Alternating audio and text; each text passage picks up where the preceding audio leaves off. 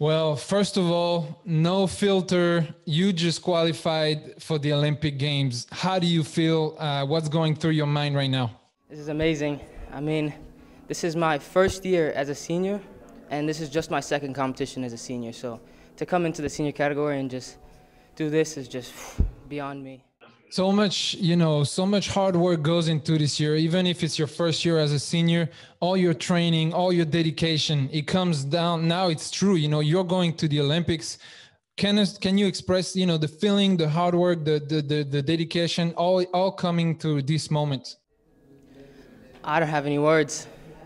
I just it's i'm still in shock. I just finished my match two minutes ago and it's just surreal still can you walk us through a little bit about your day of competition, first fight, second fight, disqualifying match from your perspective? You know, the the the hardest part, the maybe the the opponents, the round, a special moment in your mind.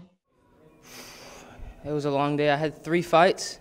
It was a long day for three fights, and it was three three tough fights. I had to work for all three of them. My first fight was against a, a friend uh, from from the refugee taekwondo team and then my second fight was against Moldova, and then obviously my final against France. In three tough fights, I came in with 100% focus to each one.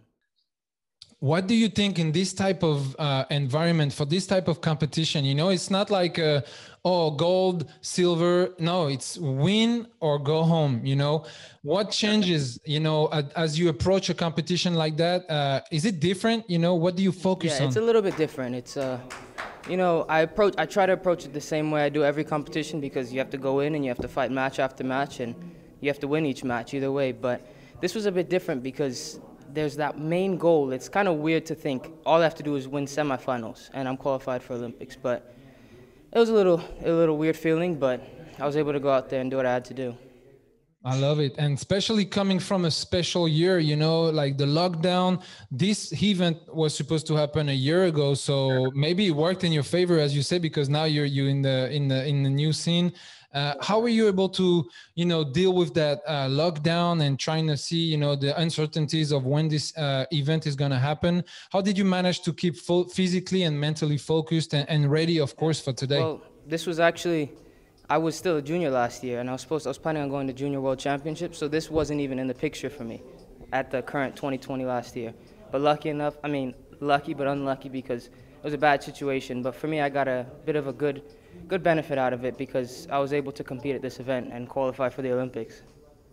Perfect. I'll I'll let John ask you a couple couple of questions as well.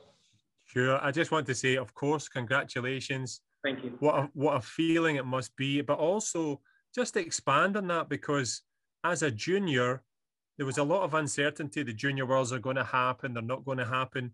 You're yeah. now going to the Olympic Games. Yeah. It's a big, big step up. How did that? Did you think about that at all, or did you just focus on the opponents? Um, I mean, obviously, I can't get the thought of my head that thought out of my head that if I win this competition or make it to the, the top two, I'm going to the Olympics. So it was a big thought on my mind, but I was a little disappointed last year that I wasn't able to go to the Junior World Championships, but I got a I got a bigger prize. you did, you did indeed, and I was going to ask you. You maybe not had time yet. You just said you're just you know full of adrenaline. It's still surreal. What's the first phone call that you're going to make?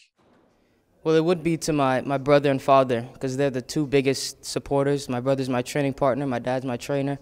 So it would be to them, but lucky I'm lucky enough to have them here with me. You want to give them a little shout out, give them some thanks. They're yeah. there looking at you. You can bring them on the camera, bring them in. Come, let's go. Thank you guys for all your hard work. Appreciate it. Fantastic. Congratulations. Thank you. Short but sweet. And I have one more question for you. You know, like you have like 80 days to prepare for for Tokyo. How are you gonna approach that to try to optimize that time to make sure that you're ready? You know, like some so many people say, you know, it's it's an experience thing, but you proved today, and the guy that you fought in the semifinal is also a very young athlete. So you proved that young athletes can come out and perform. What are you gonna focus from now until then to really optimize your chances? Your chances. Well, I mean, what I've been doing so far has been working well for me, so I'm just going to continue training hard, and I'm I'm very lucky to be able to compete in the Olympics this year. Perfect. Hey, man, thank you so much, uh, you and we'll see you in the in the Olympics. Thank you.